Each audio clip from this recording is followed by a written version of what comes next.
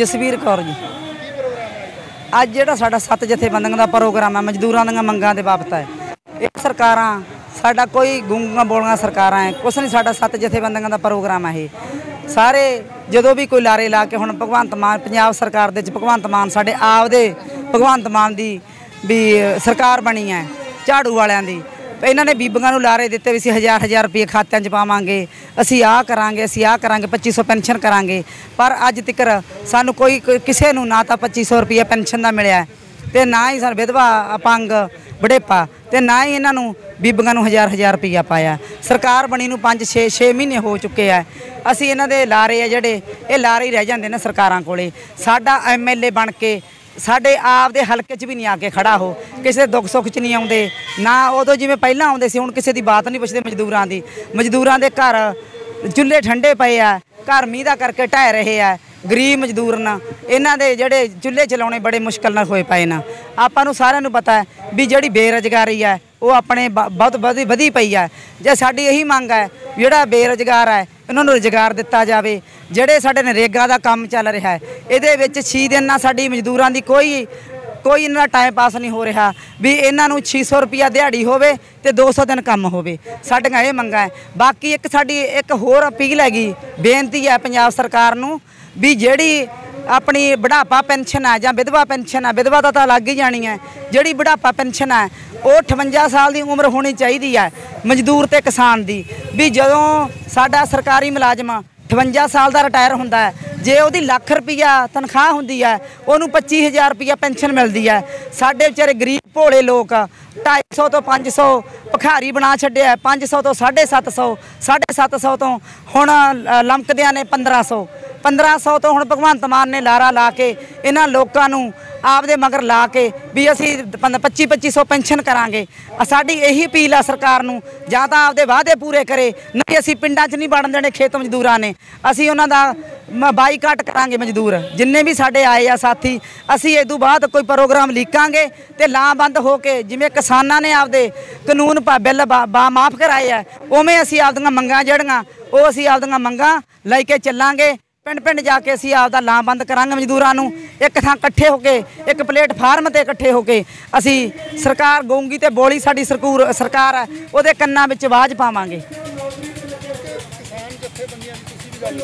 ਹਾਂਜੀ। ਉਹ ਮੰਗਾਂ ਮਨਵਾ ਜਾਂਦੀਆਂ ਪਰ ਮਜ਼ਦੂਰਾਂ ਦੀਆਂ ਮੰਗਾਂ ਮੰਨੀਆਂ ਨਹੀਂ ਜਾਂਦੀਆਂ ਤਾਂ ਕੀ ਕਮੀ ਮੰਨਦੇ ਹੋ ਤੁਸੀਂ? ਕਮੀ ਜੀ ਆ ਇੱਕ ਇਹੀ ਕਮੀ ਹੈ ਸਾਡੇ ਦੇ ਵਿੱਚ ਸਾਡੇ ਮਜ਼ਦੂਰ ਇਕੱਠੇ ਹੋ ਕੇ ਨਹੀਂ ਆ ਰਹੇ। ਕਈ ਲੋਕਾਂ ਤਾਂ ਵਿਚਾਰੇ ਭੋਲੇ ਭਾਲੇ ਅਨਪੜ੍ਹ ਲੋਕ ਹੈ ਉਹਨਾਂ ਕੋਲੇ ਵੱਡੀਆਂ ਜਾਇਦਾਦਾਂ ਹੈ ਇਹਨਾਂ ਗਰੀਬਾਂ ਕੋਲੇ ਕਿਹੜਾ ਜਾਇਦਾਦਾਂ ਹੈਗਾ ਅਗਲਿਆਂ ਨੇ ਰੋਟੀ ਰੋਜੀ ਦਾ ਵੀ ਸਵਾਲ ਹੈ ਦਿਹਾੜੀ ਵੀ ਛੱਡਣੀ ਪੈਂਦੀ ਹੈ ਛੋਟੇ ਛੋਟੇ ਬੱਚੇ ਆ ਇਹਨਾਂ ਨੂੰ ਆਪਦਾ ਦੋ ਡੰਗ ਦੀ ਚੁੱਲ੍ਹੇ ਦੀ ਰੋਟੀ ਦਾ ਹੀ ਫਿਕਰ ਹੋਇਆ ਪਿਆ ਗਰੀਬਾਂ ਨੂੰ ਵਿਚਾਰਿਆਂ ਨੂੰ। ਹੁਣ ਜਿਹੜਾ ਸਿਲੰਡਰ ਸੀਗਾ ਉਹ 1100 ਨੂੰ ਸਰਕਾਰ ਨੇ ਕਰਤਾ। 1100 ਨੂੰ ਸਰਕਾਰ ਨੇ ਸਿਲੰਡਰ ਕਰਤਾ। ਗਰੀਬਾਂ ਤੋਂ ਨਾ ਤਾਂ ਕੋਈ ਟਾਈਮ ਨਾਲ ਦਵਾਈ ਬੂਟੀ ਲਈ ਜਾਂਦੀ ਹੈ। ਜੇ ਕੋਈ 300 ਰੁਪਏ ਦਿਹਾੜੀ ਕਮਾਉਂਦਾ, ਉਹਦੇ ਵਿੱਚ 7 ਜੀ ਆ ਪਰਿਵਾਰ ਦੇ। ਦੁੱਧ ਵੀ ਹੁਣ 50 60 ਰੁਪਏ ਕਿਲੋ ਹੈ। ਸਬਜ਼ੀ ਵੀ 100 ਰੁਪਏ ਕਿਲੋ ਆ। ਉਹਦੇ ਨਾਲ ਇੱਕ ਬੰਦਾ ਕਮਾਉਂਦਾ, ਉਹਦਾ ਗੁਜ਼ਾਰਾ ਕਿਵੇਂ ਚੱਲੂਗਾ? ਹਾਂਜੀ।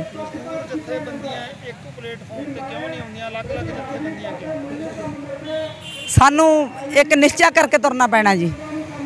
ਜਿਹੜੀਆਂ ਕਿਸਾਨ ਜਥੇਬੰਦੀਆਂ ਸੀ ਉਹ ਵੀ ਤਾਂ 32 33 ਕਿਸਾਨ ਜਥੇਬੰਦੀਆਂ ਸੀ ਪਰ ਵਿਚਾਰ ਤਾਂ ਸਾਰਿਆਂ ਦੇ ਇਕੱਠੇ ਹੀ ਸੀ ਨਾ। ਸਾਡੇ ਵੀ ਵਿਚਾਰ ਇਕੱਠੇ ਆ, ਅਸੀਂ ਇੱਕ ਸਟੇਜ ਤੇ ਇਕੱਠੇ ਹੋਵਾਂਗੇ ਲਾਲ ਝੰਡੇ ਵਾਲੇ। ਹੁਣ ਨਾ ਹੈ ਹੋਰ ਅਸੀਂ 6 ਮਹੀਨਿਆਂ ਨੂੰ ਸਾਲ ਨੂੰ ਇਕੱਠੇ ਹੋ ਜਾਾਂਗੇ। ਇੱਕ ਪਲੇਟਫਾਰਮ ਤੇ ਇਕੱਠੇ ਹੋ ਕੇ, ਇਹ ਸੰਘਰਸ਼ ਨੂੰ ਤੇਜ਼ ਕਰਕੇ ਅਸੀਂ ਲੋਕਾਂ ਦੇ ਘਰ ਘਰ ਜਾ ਕੇ ਇਹ ਲੋਕਾਂ ਦੀਆਂ ਮੰਗਾਂ ਮਨਵਾਵਾਂਗੇ, ਜਿਹੜੀ ਪੰਜਾਬ ਸਰਕਾਰ ਸਾਡੇ, ਪੰਜਾਬ ਦੇ ਲੋਕਾਂ ਵਾਸਤੇ ਬਣੀ ਸੀ। ਪਰ ਸਾਨੂੰ ਪਤਾ ਇਹ ਸਰਕਾਰ ਸੈਂਟਰ ਤੋਂ ਚੱਲਦੀ ਹੈ ਤੇ ਪੰਜਾਬ ਸਰਕਾਰ ਦੇ ਵਿੱਚ ਭਗਵੰਤ ਮਾਨ ਕਹਿੰਦਾ ਸੀ, ਮੈਂ ਤੁਹਾਡੇ ਲੋਕਾਂ ਦਾ ਪਰ ਸਾਨੂੰ ਪਤਾ ਸਾਡਾ ਭਗਵੰਤ ਮਾਨ ਨੇ ਸਾਡੀ ਬਾਹ ਨਹੀਂ ਫੜੀ।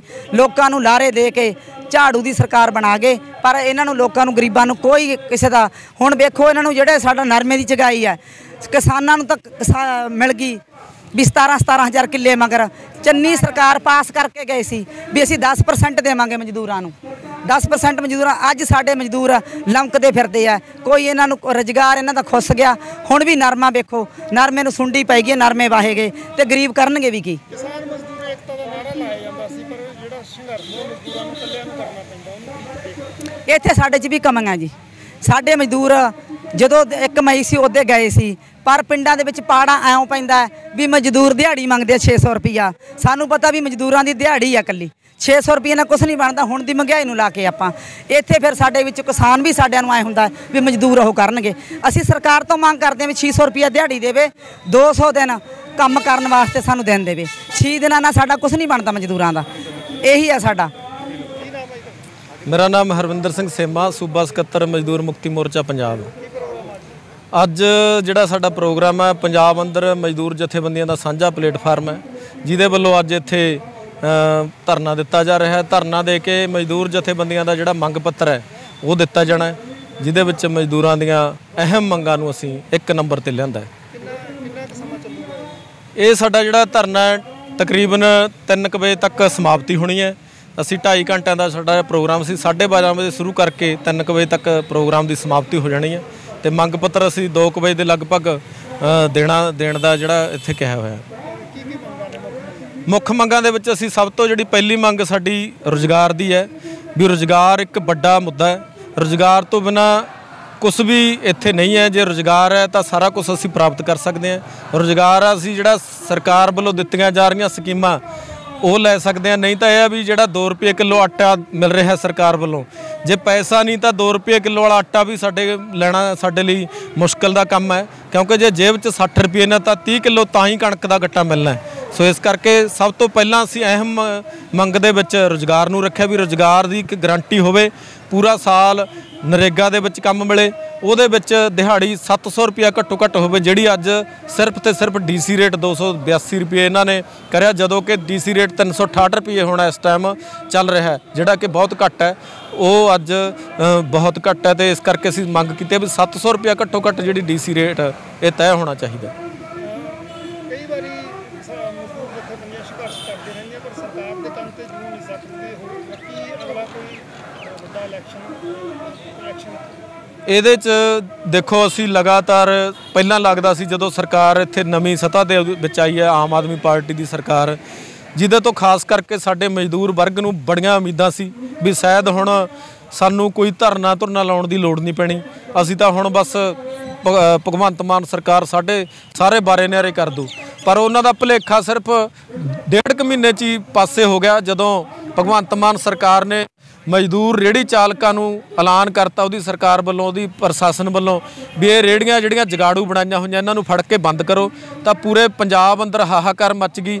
ਸਾਰੇ ਰੇੜੀ ਚਾਲਕਾਂ ਨੇ ਨਾਲ ਦੀ ਨਾਲ ਸਾਰੇ ਐਮਐਲਏਆਂ ਦੇ ਬਾਰਾਂ 'ਚ ਜਾ ਕੇ ਨਾਅਰੇਬਾਜ਼ੀ ਕੀਤੀ ਤੇ ਕਿਹਾ ਵੀ ਅਸੀਂ ਤੁਹਾਨੂੰ ਜਿਤਾ ਕੇ ਤੁਹਾਡੇ ਖਾਤਰ ਲਗਾਤਾਰ ਆਪਦਾ ਕੰਮ ਛੱਡ ਕੇ ਝੰਡਾ ਬੰਨ੍ਹ ਕੇ ਅਸੀਂ ਤੁਹਾਡੀਆਂ, ਤੁਹਾਡੇ ਹੱਕ 'ਚ ਵੋਟਾਂ ਮੰਗੀਆਂ ਤੇ ਪਰ ਤੁਸੀਂ ਸਾਡੇ ਹੀ ਰੁਜ਼ਗਾਰ ਖੋ ਰਹੇ ਹੋ।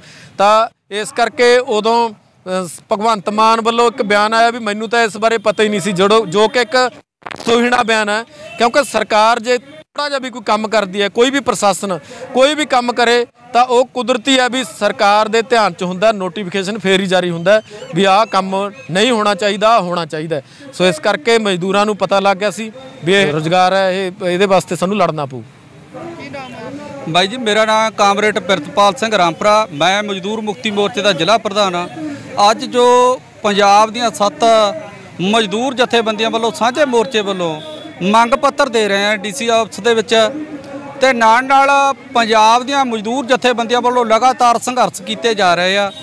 ਸੰਘਰਸ਼ਾਂ ਦੇ ਬਦੌਲਤ ਜਿਹੜੀ ਭਗਵੰਤ ਮਾਨ ਸਰਕਾਰ ਲਗਾਤਾਰ ਮਜ਼ਦੂਰਾਂ ਨੂੰ ਅੱਖੋਂ ਪਰੋਖੇ ਕਰ ਰਹੀ ਆ, ਅੱਜ ਉਹਨਾਂ ਨੂੰ ਇਹ ਦੱਸਣ ਵਾਸਤੇ ਆਏ ਆ ਕਿ ਜਿਹੜੇ ਤੁਸੀਂ ਮਜ਼ਦੂਰਾਂ ਤੋਂ ਮੋਮੋ ਠਗਣੀਆਂ ਗੱਲਾਂ ਕਰਕੇ ਵੋਟਾਂ ਲੈਤੀਆਂ ਪਿੰਡਾਂ ਦੇ ਵਿੱਚ, ਅੱਜ ਉਹੀ ਮਜ਼ਦੂਰ ਛੋਟੇ ਦਫ਼ਤਰਾਂ ਦਾ ਘਰਾਓ ਕਰਨ ਵਾਸਤੇ ਆਏ ਆ, ਪਰ ਜੇ ਹਜੇ ਤੱਕ ਵੀ ਮਾਨ ਦੀ ਸਰਕਾਰ ਹਜੇ ਤੱਕ ਵੀ ਧਿਆਨ ਨਾ ਦੇਊਗੀ, ਹਜੇ ਤੱਕ ਵੀ ਮਜ਼ਦੂਰਾਂ ਨੂੰ ਅੱਖੋਂ ਪਰੋਖੇ ਕਰੂਗੀ, ਜੋ ਅਗਲਾ ਫੈਸਲਾ ਸਾਡਾ ਸੱਤ ਮਜ਼ਦੂਰ ਜਥੇਬੰਦੀਆਂ ਦਾ ਪੰਜਾਬ ਦਾ ਸਾਂਝੇ ਮੋਰਚੇ ਵੱਲੋਂ ਹੋਊਗਾ, ਉਹ ਅਗਲਾ ਫੈਸਲਾ ਆਰ ਜਾਂ ਪਾਰ ਲੜਾਈ ਦਾ ਹੋਊਗਾ ਉਸ ਤੋਂ ਬਾਅਦ ਭਗਵੰਤ ਮਾਨ ਸਰਕਾਰ ਦੀ ਜ਼ਿੰਮੇਵਾਰੀ ਹੋਣੀ ਆ ਤੇ ਦਫ਼ਤਰਾਂ 'ਚ ਬੈਠੀ ਅਫਸਰਸ਼ਾਹੀ ਦੀ ਜ਼ਿੰਮੇਵਾਰੀ ਹੋਣੀ ਆ।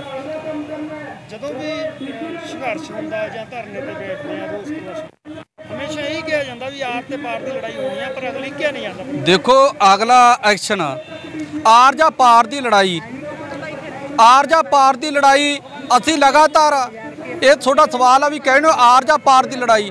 ਆਰ ਜਾਂ ਪਾਰ ਦੀ ਲੜਾਈ ਹੁਣ ਸਾਂਝੇ ਮੋਰਚੇ ਵੱਲੋਂ ਬਕਾਇਦਾ ਤੌਰ ਤੇ ਮੀਟਿੰਗਾਂ ਦੇ ਵਿੱਚ ਤੈਅ ਹੋ ਕੇ ਸਾਂਝੇ ਮੋਰਚੇ ਦੀ ਇੱਕ ਜੁੱਟਤਾ ਬਣ ਗਈ, ਜਿਵੇਂ ਤੁਸੀਂ ਕਹਿੰਦੇ ਹੋ ਕਿਸਾਨ ਜਥੇਬੰਦੀਆਂ ਦਾ ਸਾਂਝਾ ਮੋਰਚਾ ਬਣ ਗਿਆ। ਹੁਣ ਮਜ਼ਦੂਰ ਜਥੇਬੰਦੀਆਂ ਦਾ ਵੀ ਸਾਂਝਾ ਮੋਰਚਾ ਜਿਹੜਾ ਉਹ ਕਿਸਾਨਾਂ ਦੀ ਤਰ੍ਹਾਂ ਬਣ ਗਿਆ। ਕਿ ਇਹ ਆਰ-ਪਾਰ ਦੀ ਲੜਾਈ ਜ਼ਰੂਰ ਸਾਂਝੇ ਮੋਰਚੇ ਵੱਲੋਂ ਲਵਾਂਗੇ, ਲੜਾਂਗੇ, ਤਾਂ ਇਹ ਪਿੱਛੇ ਨਹੀਂ ਹਟਾਂਗੇ। ਹਾਂਜੀ, ਜਿਹੜੀਆਂ ਪ੍ਰਧਾਨ ਜੀ ਉਹਨਾਂ ਨੇ ਖੇਤ ਮਜ਼ਦੂਰ ਸੰਘਰਸ਼ ਕਮੇਟੀ ਨੇ ਜਿਹੜੀਆਂ ਸਾਨੂੰ ਮੰਗਾਂ ਦਿੱਤੀਆਂ, ਉਹਨਾਂ ਨੇ ਮੁੱਖ ਮੰਤਰੀ ਸਾਹਿਬ ਨੂੰ ਪਹੁੰਚਾਉਣ ਵਾਸਤੇ ਆਖਿਆ। ਅਸੀਂ ਮਾਨਯੋਗ ਡੀ ਸਾਹਿਬ ਰਾਹੀਂ ਇਹ ਮੁੱਖ ਮੰਤਰੀ ਸਾਹਿਬ ਤੱਕ ਪਹੁੰਚਦੀ ਕਰ ਦਿਆਂਗੇ।